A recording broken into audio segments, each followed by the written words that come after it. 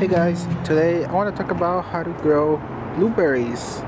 And I want to talk about that because I just bought this uh, blueberry. And it is a Jubilee blueberry. There you go. Southern High Bush which is perfect for my uh, growing zone 9 weather. And it's a really nice blueberry.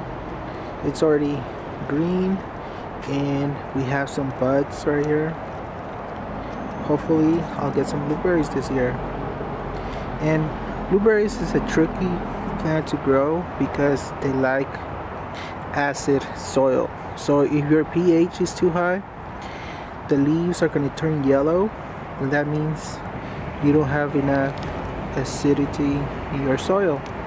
So in order to correct that we're going to make a mixture of good soil and this mostly has uh, peat moss. You want about 40% peat moss because peat moss has a pH of 4 and blueberries like a pH between 4 and 5 and peat moss has 4 so peat moss is going to lower your pH so that's pretty good pretty good. So if you have a plant with yellow leaves it means your pH is too high and what you want to do is remove some of the um, soil and replace it with uh, brand new soil that is really high in peat moss because that's going to lower your pH.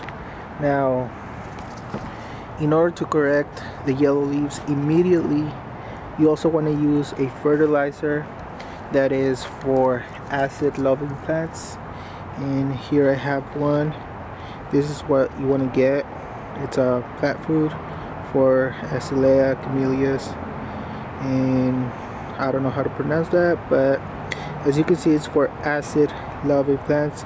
And this is water soluble so it's gonna feed the plant immediately. So that's pretty good.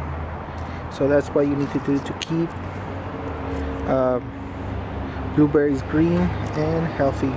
Use a lot of peat moss. That is the secret. So try it out anyways I'm gonna be transferring this blueberry into this pot. And I already have my uh, soil ready with lots of peat moss and rock dust and my own mixture. But as you can see it looks pretty good. Lots of peat moss. But there you go. Mm-hmm.